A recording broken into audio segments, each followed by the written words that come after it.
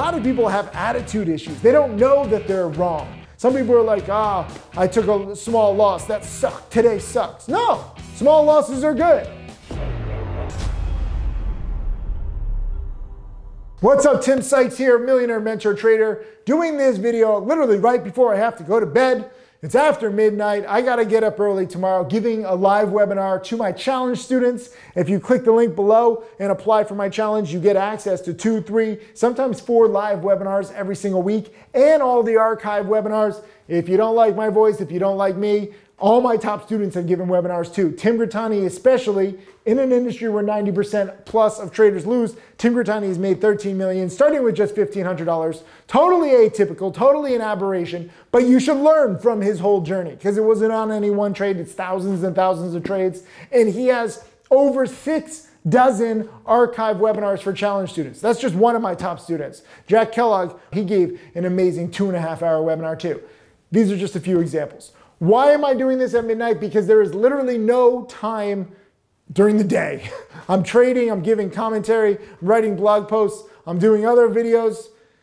You'd be shocked at what my day looks like. I'm not complaining. I just want you to understand why I'm like exhausted. I'm like slurring my words. I'm not drunk. I'm just tired. Um, Mariana, my first female millionaire student, she's only 20. She crossed over 1.1 million. There's not that many hot plays right now. I'm always checking in on my students. Um, when they're not trading that much, I'm like, are you staying safe?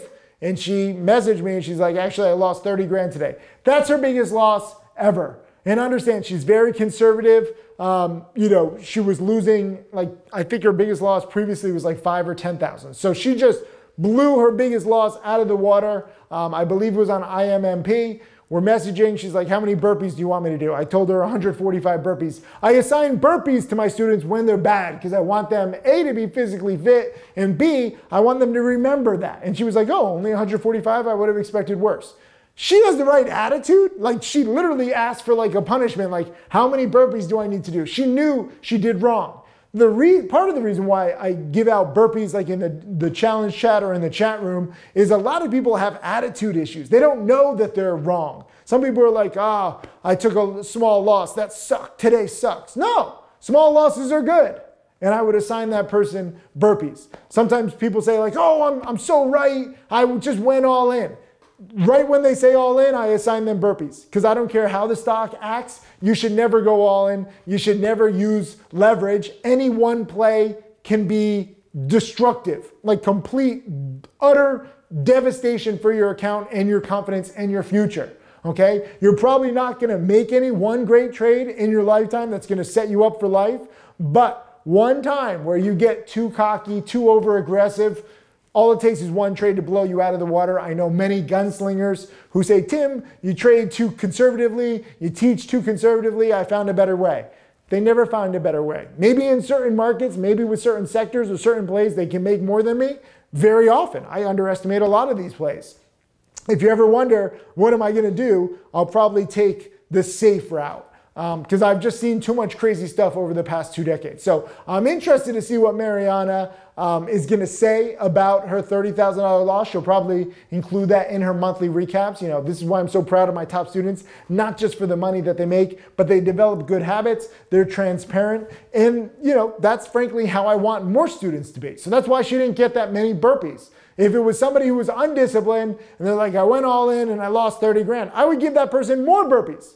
But I know Mariana has over a million dollars in profits. 30 grand definitely stinks. I mean, it's her worst loss ever, but she handled it like a pro, right? She's, she's like, I know I did wrong, stupid mistake. I mean, just in the message. I don't know all the details yet, but my point is, is that attitude matters, discipline matters. I'm sorry for Mariana. I'm not trying to make her feel bad about her loss. She probably is being hard enough on herself. Again, I made a million dollars in my early 20s. I remember how I had no mentor, no guide. Um, I became a philosophy major because my head was so messed up because I just didn't understand like all this money. I'm from a middle class town in Connecticut. Jack Kellogg is also from a middle class town in Connecticut. It's actually pretty crazy.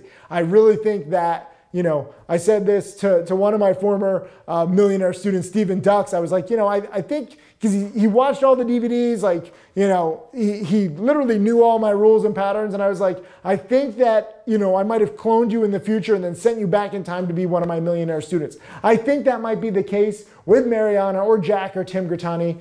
It, it would make sense, you know, if cloning is possible in the future and I do get rich enough you know, theoretically, I could go back in time or send a student back in time to be an amazing student. I have no idea if that really is the, the case or if I'm just finally getting through to more students. Um, that would be beautiful too. It doesn't have to be some, some sci-fi cloning conspiracy theory. Um, Mariana will make it back. She'll get through this because she has her habits down, her process down, but I'm gonna stay on her. And I'm going to stay on Jack and Kyle and Matt and anybody who starts to get a little sloppy with their executions, they get a little cocky. Trading is very fragile. It doesn't matter how much money you made. Somebody tweeted at me and they're like, they don't need your help anymore. Yes, they do, you know? And even if they don't want it, I'm going to give it because I recognize the signs. This is the beauty of having achieved pretty much what they've achieved, you know, now 20 plus years later. Again, 90% plus of traders lose. So before you're thinking like, I want to be your next millionaire student, I want to be spoiled, you probably won't be. I'm just going to be real with you. Most people don't have the work ethic required to study 10, 12, 15, 17 hours a day every single day while making nothing. And sometimes getting a gut punch, like a $30,000 loss. You know, Jack and Kyle also lost big trying to uh, dip buy MMNFF a few weeks ago. Um, Kyle had his biggest loss. I think it was like 70 or 80,000, but he's at like 1.5 million. Um, and Jack, I think, lost like uh, like two or 300,000 on that one trade. Um, but he made it all back already. So having good habits really helps. But even my best students, even myself, sometimes we can get undisciplined. Um, so trading is very fragile. Leave a comment below. Say that. Trading is very fragile. It's not like you get paid consistently. Kyle actually tweeted this um, I'll have Pascal find this tweet. Say hi, Pascal. Hey, everybody.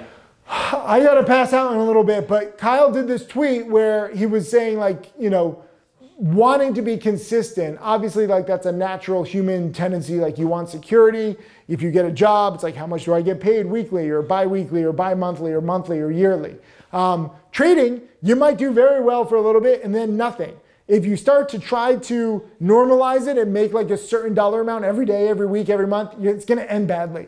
I told all these guys back in the year 2000, I made over 700 grand in the first four months of the year when the NASDAQ was spiking so much.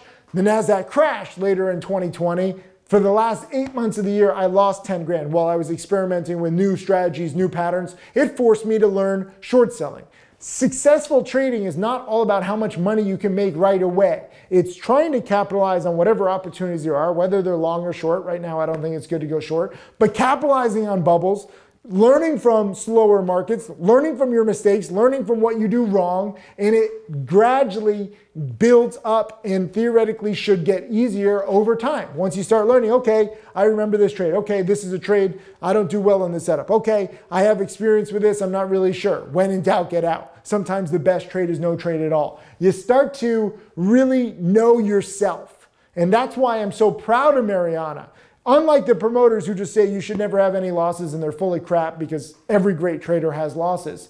Mariana knows about her loss. She's already basically, you know, was asking for punishment. She's like basically saying like she messed up. She needs, you know, to, to recognize that she messed up, but she already does. That's the beautiful thing. My top students are so prepared. And I'm very honored um, to be part of that preparation. The challenge that I'm linking below, you get access to me, Jack, Kyle, Matt Monaco, Mariana, Michael Goode, Mark Croock, Roland. All these guys and now girls are in the challenge chat. It's a separate chat room and they get two, three, four live webinars a week. All of that speeds up your learning curve.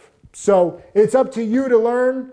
It's up to you to study. I can't study for you. I'm just here to give lessons. Um, if I can help in any way, you let me know. Leave a comment below if you're going to be dedicated and if you understand that trading is fragile. Trading profits is fragile. You can never get too cocky. You can never get too aggressive. Otherwise, the market will humble you. Stay humble, Mariana. Everybody else, let's see what you got.